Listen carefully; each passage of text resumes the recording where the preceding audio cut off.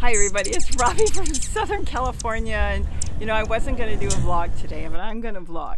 I'm going to vlog on hummingbirds which you could probably see behind me. Let me see if I can get you to see them. And um, a topic that a lot of people have asked me is they know I do a lot of DIYs for hummingbirds. All the feeders behind me are DIY feeders. Can you see them? I hope you can see them because the sun is so bright today. Well, let's see. You've been asking me for swings. Oh, make a swing. Oh, by the way, that's my GoPro that I've got there. And what I'm doing here, you can probably just see it here, is I was getting some clips on a brand new hummingbird feeder I just made, and it's working fantastic. It's too early to actually launch this video on the hummingbird feeder because nobody's got any hummingbird feed, hum, hummingbirds right now. We have hummingbirds, but a lot of you won't have hummingbirds back until they'll start coming back in March, depending on where you are. So I've been experimenting and I came out with a feeder that I happen to really like and it's made out of another food container and it's you'll see the ice cream containers back there but I've got another food container. But that's not what I want to talk about today. What I want to talk about today is why I haven't done a video on hummingbird swings yet. I'm going to tell you I make the cutest, easiest, cheapest hummingbird swing there is. I, I'm going to go ahead and get a video together on the swing that I make because a lot of you may want to make a swing. But the reason I don't like swings is it depends on where you put them. A swing, like I've got some holders back there, become a throne for certain species of hummingbirds. Not all, but let's talk about the Rufous, who decided that he wanted this entire table behind me. So while I was trying to do a video clip to show how quick, it took less than 15 seconds. I'll actually have to look at the video. I haven't even looked at it. I, when I made it, I put it out and by 15 seconds, I already had a hummingbird feeding out of it and then a whole bunch of them came. But what happened was the Rufous came and he decided to park himself up on the branch and there's a holder there for another little um, little dots I make. He parked himself there and he started chasing everybody off. Everybody. He didn't want anybody around. And when I came out here and sat here, everybody came back. And that's something I'll talk about. He decided he wanted all the feeders behind me. So it was so much for trying to get a video. I thought, you know, this is a good time to sit down, grab my cell phone and do a little vlog on hummingbirds.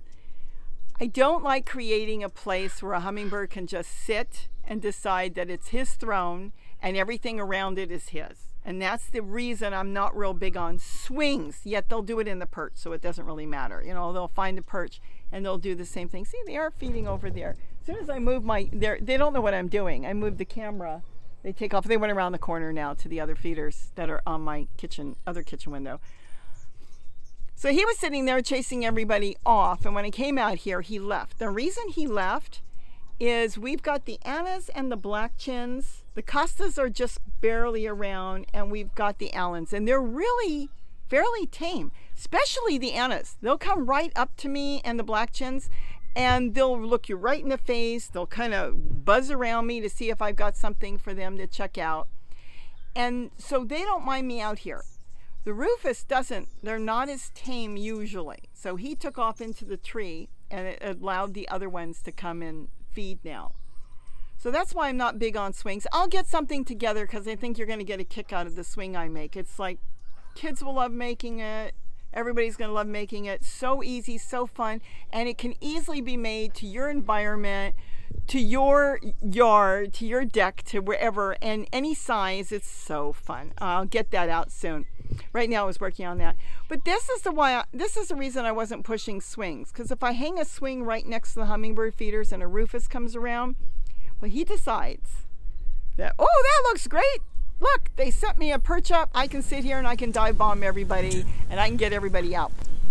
So that's why I'm not big on the swings. But the, the thing is, the swings create a perch for them to sit on and then watch over the feeders. I do put a swing out, and as long as there's not a Rufous who becomes dominant, they're not all dominant, but it tends to mostly be the Rufous. Not always any species can do it, but they're the ones that are notorious for that. I'm going to let you see if you can see. They are absolutely notorious for becoming uh, very territorial.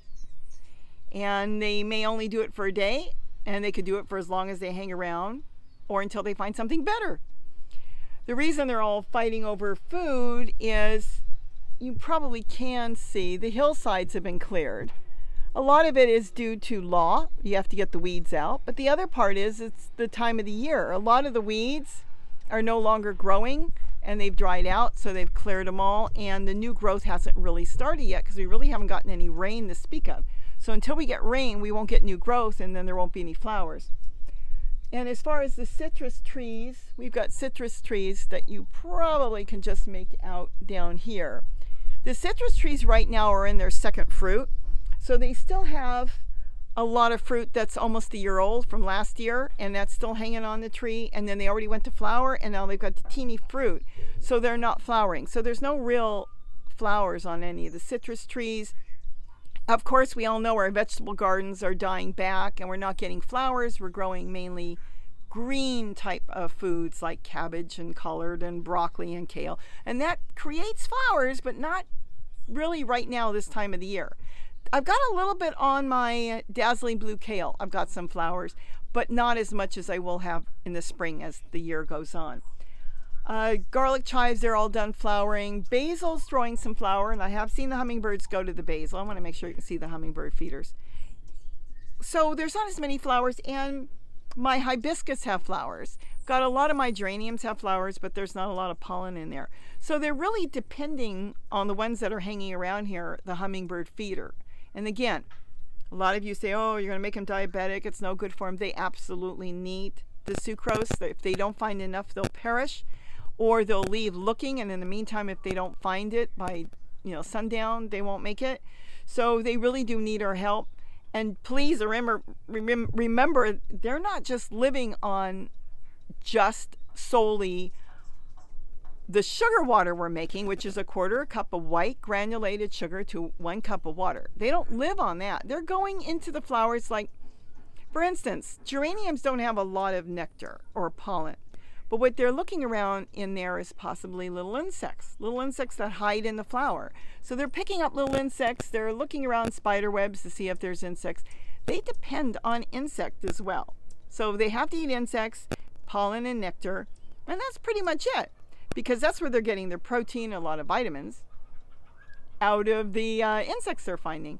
So what I'm doing is helping them out. Some of them will continue to go down south and go into Mexico and Central America. And a lot of them will park themselves here, stay here, and then, of course, we have hundreds and thousands that live here all year. They don't go anywhere.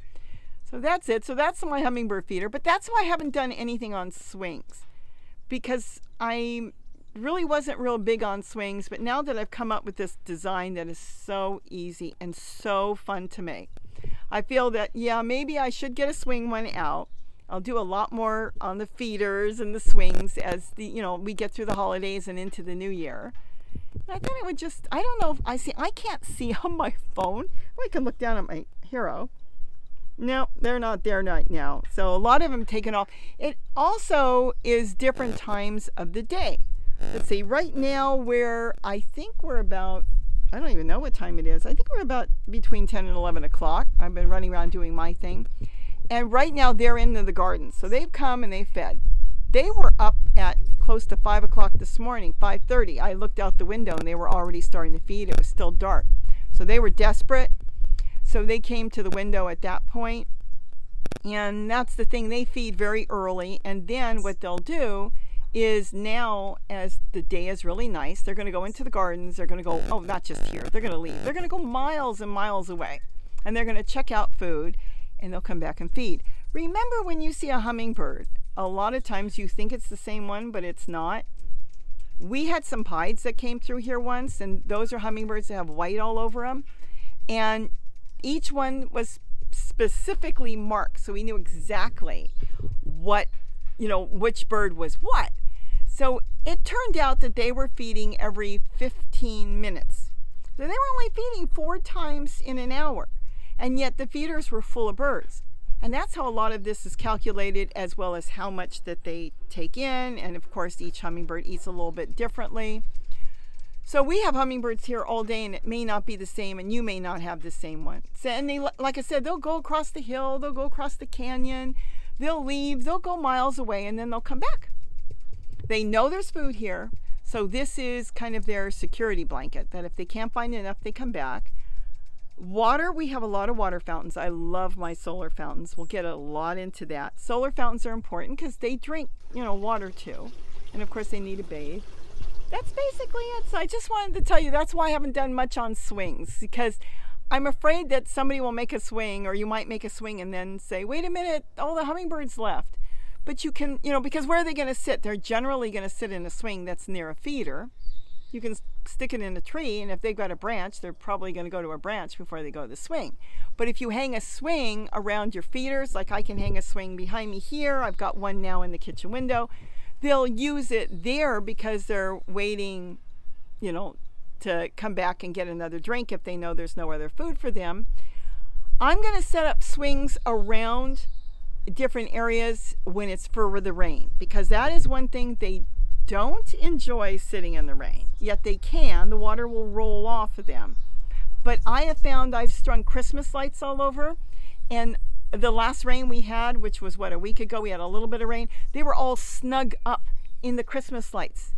And so I figured, you know what, maybe I'll start getting swings around. So this will give them some place to sit out of the rain and they don't have to go looking once they are used to the swings. They have to get used to everything. Well, generally, like I said, I put this hummingbird feeder out and you probably can see I'm feeding on a dot right now. And they had that used in, I couldn't believe it, in less than 15 seconds but they really like their dots. You can even make swings with dots. And they really enjoy that. And in case you're going to ask me, you're going to ask, what is that box behind you? I can, I'm pointing at the camera and it's behind me. The box is an ice cream container. It's a gallon ice cream container and I cut it and I made a shelter so they can, if they want, some of them go in there. And if it was raining, I put it out for the rain last week. They can go inside of there and they won't get wet is what it was. That, this keeps them from getting wet. They don't generally use it because that is just a little too small. I would need to make something bigger and there's other ways I'm, I could make it. I'm thinking about making it so they can go in and feed out of the rain. We have a lot of ours set up. Well, when the rain comes in, I, I set up a lot of feeders around the eaves of the house. And this way they're out of the rain, they can freely sit, enjoy a drink, and then go back to the trees they do still like to sit in trees and they do know how to sit in a tree. And that's, you know, they know where to sit and where the water is going to roll because trees are designed to have the water hit the top. And then generally, if you notice, you go under a tree, it's dry, but the perimeter all the way around the tree is wet because the tree is having the water go through leaf by leaf and it falls and it falls on the outside where the root system is because a lot of trees have their major feeding, you know, sucking up the water root system on the perimeter of where it runs off the tree. So they can get into the tree and they can still st stay dry. But if you have a really bad storm and it's really pouring and and it's just windy and stuff, then they'll look for other places if they don't want to go into the tree. Have you hear any hammering? I don't know if you can see it. I'm not sure. I'm sticking my head in there, but they're they're actually building that house up there and don't worry, I know some of you said, oh, I've gone crazy. Nah, it's going to be done soon. Like I, I've talked about in my other vlog, once the house is done and they're working on the inside, I won't hear them anymore. A lot of these new houses are so soundproof that I've heard things and called a neighbor and they say they didn't hear a thing. So the new ones are really solid and soundproof. So I won't hear them working. But those, those are the feeders and that was it. So if you've got a bird that's chasing everybody around, generally it is a Rufous. I'm looking down at my, I can see my hero behind me because I can see better on my, my tablet. I can see better that way than trying to see through the camera because it's so sunny. I just thought I'd say hello and talk about why I haven't done any swings. But I'm going to make a swing, going to get a video together early in the year, and you're going to go, I know you're going to go, oh my gosh, this is so fun. It, you, you will, you will, because I, I got excited. It just was like a light bulb. I was sitting the other day and I was thinking all these different swings I've made. And it's just like everybody else making a swing that you'd make for a parakeet or canary or something. And then I thought about, wow, you could do this and it looks so cool and anybody can do it and you can change it around. So you'll see. But that's it. So that's why I don't like swings. I'm trying to see. I don't think anybody's there yet. Oh yeah, see they're feeding. I'm going to have to say, I don't know if you can see the ice cream container. That's their favorite. Isn't that funny? They actually prefer that than the regular hummingbird feeders. Oh, I just bought some hummingbird feeders. I bought some hummingbird feeders on eBay. I have bought them from uh, Walmart. I think I'm done with Dollar Tree and the 99 cent store only because the ones I got last year, they were out in the sun and they fell apart like really fast. So I'm thinking the plastic was changed. It's barely made the season. So I'm going to stick with the ones from Walmart and I have called and talked to the company and they are making the same ones I bought on line at eBay is made from the same company, but Walmart, let me move over, came out with their own design. And I don't like their design. I didn't call Walmart. It's not worth it. They made the holes too small, so I have to go with my soldering iron, which I absolutely love my soldering iron, use it for everything.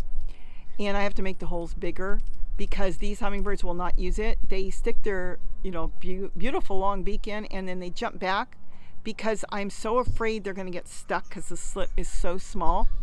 So I absolutely make it bigger and their, their feeders are less than $4. But I went ahead and paid a little bit more, same company, but the holes are made correctly and they're bigger. And this is the way the company actually prefers it. So I went ahead and bought, I think about four. They should be here any day this week. They're about double the money of what I pay from Walmart, but I'm going to have a mix of that because what I usually do is come the beginning of the year when all the spring stuff is coming in. Is my camera still working? Yes. When all the spring stuff is coming in, I used to go to the dollar stores and pick up a whole bunch of hummingbird feeders and I make my own stands. There's nothing wrong with that. You can still do that. But this year, I put them out and I have different areas I put them out. And if they were out in the sun, they would break and Gary would find them on the floor because the plastic that goes around the top, it just became brittle and fell right off yet they look the same. So the only thing could be is they changed the plastic formula and it it's dissolving in the sun. You can paint it, but I'm not going to go to that trouble. But that would be an idea. Of get some non-toxic paint and paint over the plastic. And if you do that, then what you're doing is you're protecting the plastic from the UV of the sun and then it will last a little longer. So see now the hummingbirds are gone. I can see on my tablet. They're not behind me right now. There's a few around, but now they're out in the gardens, and that's what they do. Then they come in later on in the day, they've been coming in earlier. So they used to come in just before the sun goes down, but now it seems like about 3 o'clock, they just start coming in by the hundreds and thousands, and the trees are full all around me. And they'll start feeding, and I've got to make sure all the feeders are. Oh, that's a little bark. I call it a bark. Some people call it a honk. Um, I do believe it's the Annas doing that, and they, it's kind of an attention getter for me, and I think they're trying to get my attention sometimes. It's amazing the noise that hummingbirds can make, and if you want to hear about that, you can go watch my other video on that. So that was it. It was kind of like a hello, and I'm having hummingbirds now zip by, by me on my face. I, let me see if I can turn you around, if you can see in the window. Can you see him there? I've got to fill the other feeder. I see the one on the bottom. There's oh, that's my the red one here is a peanut butter cup, and you can watch the other videos on how I make the peanut butter cup uh, hummingbird feeders. They love those. They love the hummingbird feeders made out of peanut butter cups. And that's a Walmart one hanging there, and I made the holes bigger there. See how peaceful they are? They're so peaceful when you don't have a little Rufous that decides that everything is his. The Rufous won't take over everything. What they're going to take over is an area. So it's not like he's just trying to take over one, one feeder on the table behind me. He's taking over that entire area. And that's why if you've got that problem, you're going to have to split it. So they'll feed perfectly fine there. And the Rufous won't go bother anybody over there. And what is that? Maybe 15, 20 feet. But this is his area. So they go by area. They're zipping around my head. They go by area. That's it. So I thought it's such a beautiful day. I'll come out here and say hello and talk about hummingbirds and make sure I have enough food. Oh, I've been ordering so much. I, I keep seeing I buy everything from Walmart if possible or Sam's Club. Actually, the last batch was Sam's Club and it was curbside pickup because they had the C&H and I can get in 50 pound sacks. So Gary went to curbside pickup and they brought it to the car. So that worked out really good. Walmart has the C&H, but it's in 10 pound packages and that costs a whole lot more. So I figured I'll get to 50 pounds. You see him? He's behind me. No, he's zipping around. Yeah, he's zipping around. I got to get a feeder up there too. Isn't it nice just to sit out here? I don't mind the hammering. It doesn't bother me. They're up there working away. I, I guess it's called progress. But it doesn't bother me. It's peaceful. There's really very little blowers. I hear something in the background going. Nothing big. That's it. Anyways, now I've talked too long. Just thought I'd sit with you outside. You'd get to see. I'll show show you some of the footage I just did if I can get it off my tablet. And uh, like I said, we'll get more hummingbird feeders that you can make. And maybe I'll do it pretty soon because I want you to save certain jars to make really good hummingbird feeders. And then of course, if you want a cheap feeder, I would spend the extra money and go to Walmart. You can get it in your groceries or you can get it in the grocery store, um, in the grocery, in the Walmart itself. They carry them. They're less than $4. They sit quite a few hummingbirds. They've got a seat, they've got everything. Easy to clean, wide mouth. The only thing is, if they won't feed from it, go back and look at one of my videos. I showed how I made the holes bigger and it works absolutely perfect. And if you want to spend even more, then you can go, I, I can give the link, I guess, of where I bought mine from. She's got a whole bunch. They're really, really good. And it was really not that bad of a price. I think they were six or seven dollars. I bought a whole bunch. And the more you buy, the price goes down. And it's got a white hole already. They're not bee proof. So if you're dealing with bees, but who's dealing with a lot of bees this time of the year? Um, but it works perfect for the hummingbirds and that seems to be their favorite hummingbird feeder. Remember, you get too exotic, too fancy on feeders. A lot of times they won't even use the real fancy ones. I've had people contact me. They got this fancy, beautiful feeder and they won't use it. A lot of times they won't use it. Isn't that cool? I like having a table set up there. And then of course I can put it on the rails too.